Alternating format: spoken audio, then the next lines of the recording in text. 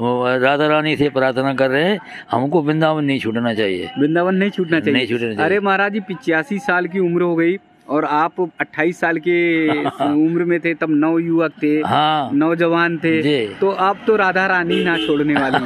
ये- अब तो आप ये वृंदावन में ही रम गए हाँ, हैं ये ये। भाव तो- इसी इसी भाव से हम रह रहे हैं महाराज जी जब- हमको तो भाई किशोरी जी की कृपा चाहिए हमको संसार कुछ नहीं चाहिए। जी। हमें नहीं चाहिए ना तुम्हारा पैसा चाहिए हमको। जी। यूँ कह दी थी तो किशोरी जी की कृपा के लिए सब कुछ ऐसे रख दिया ना हाँ, आश्रम बनाए ना। और ना जो है कभी किसी चीज़ की चिंता की। नहीं।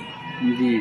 कुछ भी नहीं कही। दोस्तों वृंदावन की इस यात्रा में लगातार त्यागी तपस्वी महान संतों के दर्शन ठाकुर जी और राधा रानी की कृपा से हो रहे हैं।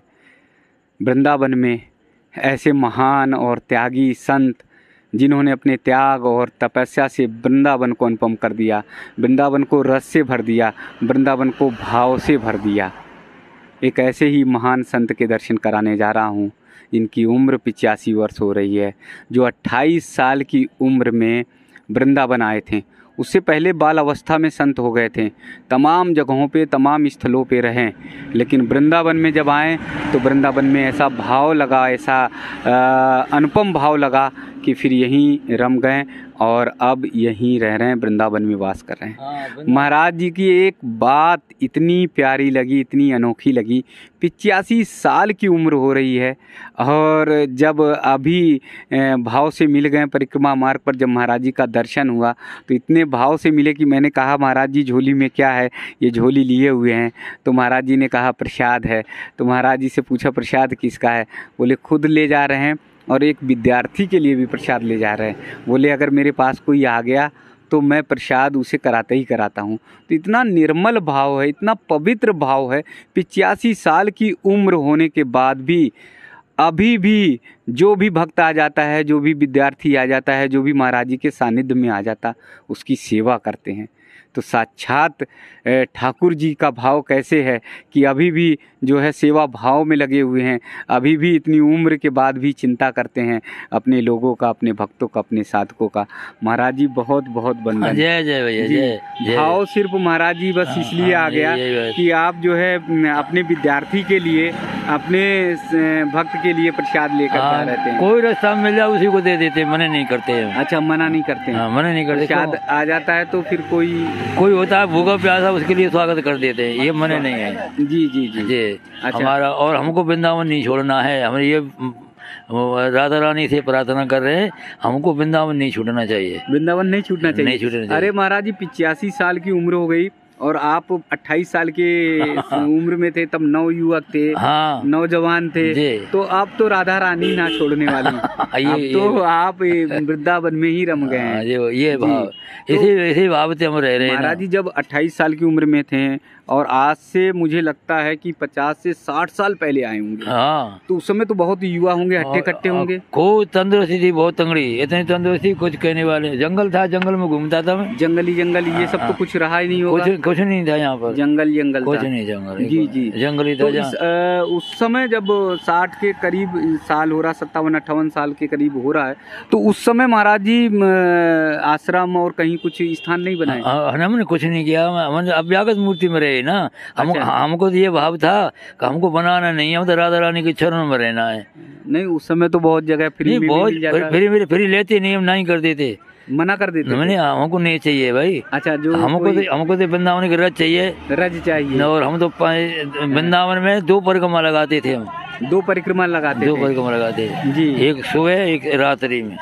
एक सुबह लगती थी हाँ, परिक्रमा हाँ, एक रात में एक लगती रात में लगती और वो परिक्रमा लगाकर फिर जो है अब जब आराम भजन हाँ, भाव में लग जाना। जब ऐसे जी। यही भाव था। आश्रम कहीं नहीं बनाए। आश्रम कहीं नहीं बनाया स्थान नहीं बनाए। जी। स्थान के शौक ही नहीं थे। बहुत से कहते कि भाई हम तुमको आश्रम दे दें फलाई बात दे दे।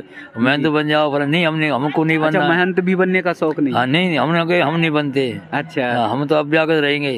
हम तो सेवा करने के लिए आए हैं। मैं तो थोड़ा बनना है हमको। जी जी ऐसा लग रहा है कि मतलब अगर वो आश्रम की व्यवस्था और व्यवस्था हो जाती तो भक्ति में भक्ति में नहीं और जाल हो जाता। अच्छा जाल हो जाता। हाँ जाल नहीं होता कि सेवा करनी पड़ती। जी। आता कोई अब हम अभ्यागत मूर्ति है। चल जा रहे हैं तो को मिल जाता है तो सबको स्वागत करते हैं। जी जी। हाँ उसके आत्मा को पर परमात्मा का स्वरूप मानते हैं। स्वरूप मानते हैं। आत्मा को परमात्मा का स्वरूप मानते हैं। मानते हैं ये अच्छा इसीलिए विद्यार्थी आ गए तो उनके लिए भी हाँ प्रसाद हाँ कोई विद्यार्थी हो कोई विद्यार्थी हो या कोई गरीब हो जी उसी को प्रसाद मिल जाता है वहाँ ले जाकर आप दे देते प्रसाद ग्रहण कराते जी हाँ, यही बात है। जी जी।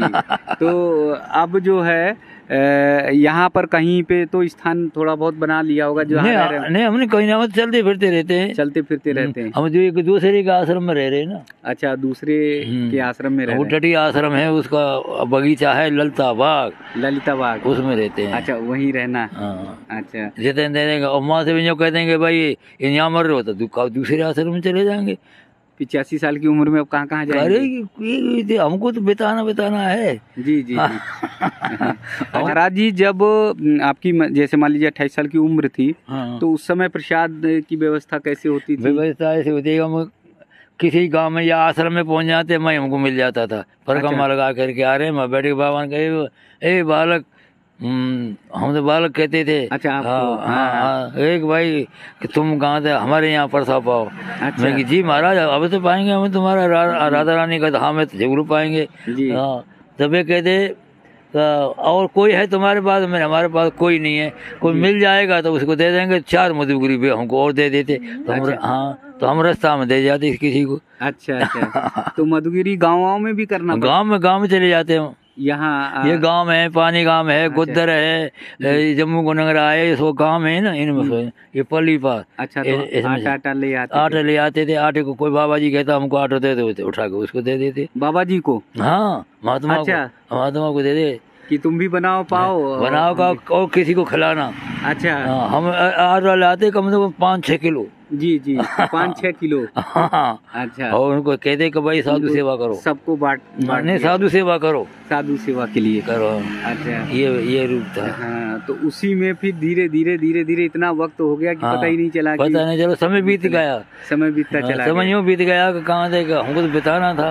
जी। और अगर हमको कब बनाते मकान तो सब समझ में जाते भगत सेवक कहते बड़े बड़े बहुत थे दिल्ली कहाँ से कलकत्ता के आते बाबा आप कुछ कर लो तुम कुछ नहीं है ऐसे ही रह जाओगे हमको हमको तो ऐसे ही रहना है। और अच्छा। हमको तो भाई किशोरी जी की कृपा चाहिए हमको संसार कुछ नहीं चाहिए। जी। हमें नहीं चाहिए ना तुम्हारा पैसा चाहिए हमको। जी। यूँ कह दी थी तो किशोरी जी की कृपा के लिए सब कुछ ऐसे रख दिया ना हाँ, आश्रम बनाए ना। और ना जो है कभी किसी चीज़ की चिंता की? नहीं।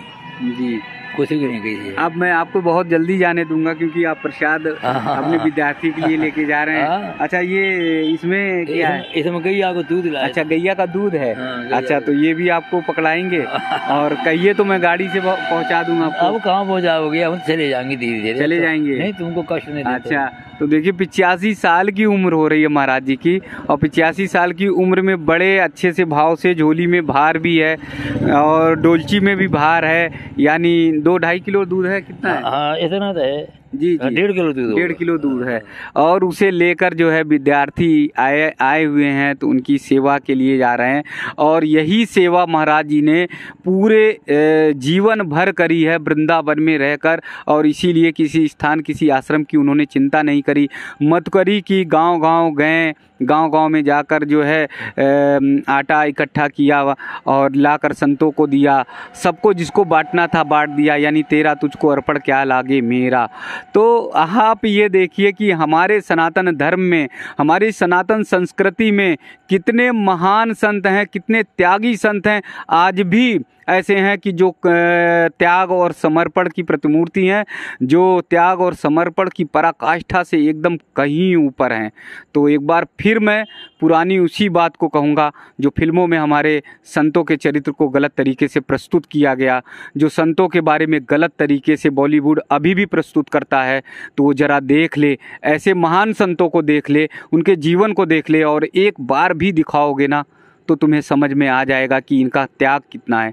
रिसर्च करो, अध्ययन करो, आप सब पढ़ो कि देखो इन्होंने कितना त्याग करके अपना जीवन व्यतीत किया है और लोक कल्याण के लिए, समाज कल्याण के लिए, परोपकार के लिए अपना जीवन लगा दिया। और आप लोग हर बार गलत चरित्र करते हो। मेरा सभी दर्शकों से, भक्तों से भी निवेदन है, बहुत आग्रह से निवेदन है कि अगर कहीं पर भी हमारे संत महात्मा के बारे में गलत कुछ भी कहा जाता है तो उसका बहुत कठोर तरीके से विरोध करिए। इस तरह से नहीं, क्योंकि लगातार संत महात्मा की जो श्रृंखला चल रही, उसमें एक से बढ़कर एक त्यागी संत महात्मा के दर्शन हो रहे हैं, जिनके वीडियो को देखकर आप सब भी कहते हो, आप सबकी भी आँखों में आँसू आ जाता है। तो मेरा निवेदन है, आग्रह है, ऐसे महान संतों के दर्शन करिए और कहीं भी गलत होता है संत के बारे में कोई बात आती है तो आप सब उसको मिलकर बहुत तगड़े तरीके से विरोध करिए।